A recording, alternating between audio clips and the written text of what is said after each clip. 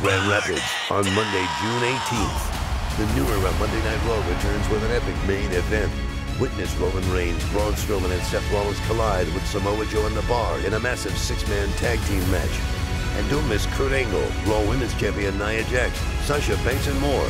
It's WWE Raw live in Grand Rapids Monday, June 18th. Tickets and ringside packages are available.